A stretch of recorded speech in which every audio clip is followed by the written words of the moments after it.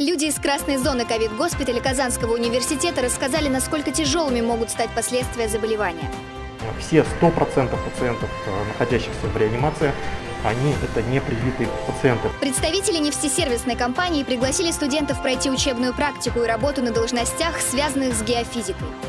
Нам очень важно привлекать выпускников а, на работу на нашу компанию, потому что ну, уровень образования достаточно высокий, а, профильное образование – то, что важно для нашей компании.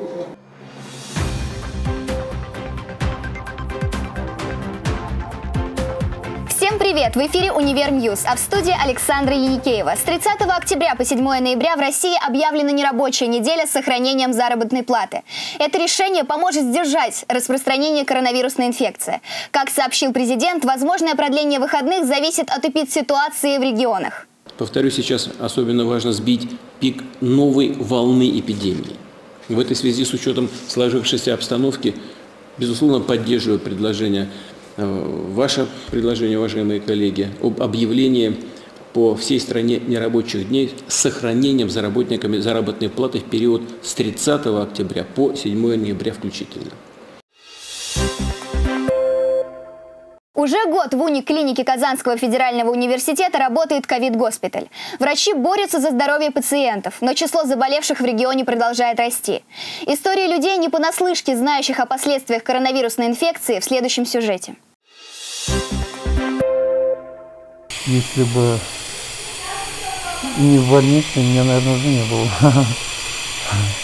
Свою историю заболевания пациент ковид-госпиталя университетской клиники рассказывает со смехом, за которым слышится страшное – вероятность летального исхода течения коронавирусной инфекции. Все болит, а что – непонятно. Так он описывает свое состояние. Дышать без кислородной маски мужчина не в состоянии. С сожалением отмечает – ранее не прививался. 1, наверное, октября, мне кажется, это случилось. Температура. ну, как всегда думаем, что пройдет что сами вылечимся, таблетки, то все. Температура держится, не проходит. Там, начал сам принимать там лекарства. Ну, как обычно, мы же такие люди, правильно? Думаем, что все это как бы насморк, сосуды, пройдет. Не проходит, температура растет начало тошнить до 39,5. Уже год врачи ковид-госпиталя университетской клиники вносят свой вклад в борьбу с коронавирусной инфекцией. Врачи выходят в ночные дежурства, в том числе и в пункты вакцинации. Еще раньше к войне с пандемией присоединились научные сотрудники Казанского университета.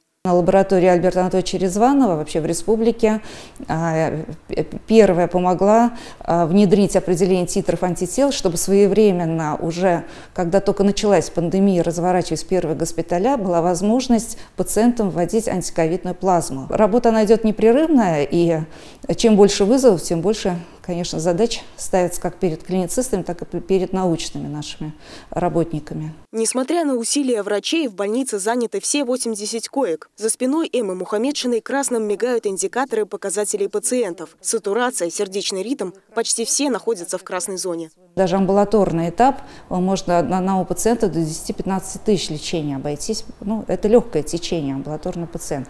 Тяжелые пациенты, которые требуют э, тяжелой терапии, генно-инженерной терапии, серьезного вмешательства препаратов, они, их стоимость лечения может доходить и до 300-500 тысяч. К сожалению, это очень дорогое лечение, и а, лечение серьезное, но реанимационные койки и длительная поддержка аппаратами, оно требует еще больших затрат. Мы были заполнены в какие-то периоды на 50, в какие-то периоды на 80-90%, и у нас был запас коечного фонда, то на сегодняшний день абсолютно 100% коек и даже больше 100%, потому что мы пользуемся еще системой приставных коек. На сегодняшний день он задействован. Сто процентов пациентов, находящихся сейчас в реанимации, это непривитые пациенты, отмечают заведующий отделением медико-санитарной части Казанского университета. Ради себя и своих близких стоит задуматься о вакцинации, ведь свободных коек может на всех не хватить. Ариадна Кугушева, Фарид Захитаглы, Хафиз Гараев, Univer News. В зале попечительского совета Казанского федерального университета состоялось заседание конкурсной комиссии республиканского конкурса «Лучший гражданский госслужащий Республики Татарстан». Представители одной из крупнейших российских нефтесервисных компаний посетили Казанский федеральный университет. О том, как прошла встреча со студентами Института геологии и нефтегазовых технологий, расскажет наш корреспондент. ТНГ Групп занимается геофизическими исследованиями на территории всей страны. Это одна из крупнейших российских нефтесервисных компаний. Большая часть работников ТНГ Групп – это выпускники и студенты Казанского федерального университета, в том числе и сам генеральный директор компании Ян Шарипов. Поэтому встреча представителей ТНГ Групп со студентами Института геологии и нефтегазовых технологий стала в некоторой мере традицией. Мы рады, что в этом году у нас снова есть возможность в стенах этого прекрасного вуза встретиться с ребятами, КФУ для нас всегда был очень важным партнером а, в цели подготовки персоналов. А, очень много студентов этого вуза, сотрудники нашей компании. Нам очень важно доносить информацию о нашей компании, чтобы э, ребята знали э, о, нашем, о наших перспективах, о, нашем, о наших проектах, о нашем будущем, о наших в том числе зарплатах и о, о том, э, какие цели преследует наша команда. И мы верим в то, что э, наше сотрудничество с КФУ в этом плане будет только развиваться. Встреча представителей компании со студентами прошла в очном формате впервые за полтора года. Открыл мероприятие проректор по направлениям нефтегазовых технологий, природопользования и наук о Земле Данис Нургалиев. ТНГ Групп приглашает студентов на прохождение учебной практики, а также предлагает работу на должностях, связанных с геофизикой. Нам очень важно а, привлекать выпускников а, на работу на нашу компанию, потому что ну, уровень образования достаточно высокий, а, профильное образование – то, что важно для нашей компании. Компания ТНГ Групп сотрудничает с такими крупными корпорациями, как Татнефть, Роснефть, Лукойл и Таграс. Роберт Хасанов, Фарид Захитаглы, Univer News. Мы напоминаем, что единственный способ защитить себя и своих близких от COVID-19 – это вакцинация. Желающие привиться могут позвонить в университетскую клинику по номеру 233 30 00. В химическом институте назначен новый директор. Что в планах у руководителя, выяснил наш корреспондент Роберт Хасанов. Химический институт КФУ возглавил новый директор Марат Зиганшин. Ранее он работал старшим научным сотрудником на кафедре физической химии.